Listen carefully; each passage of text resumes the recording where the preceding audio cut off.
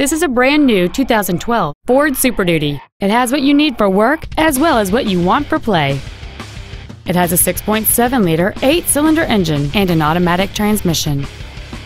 All of the following features are included a low tire pressure indicator, traction control and stability control systems, an engine immobilizer theft deterrent system, a passenger side vanity mirror, rear seat child-proof door locks, and an adjustable steering wheel. Contact us today to arrange your test drive.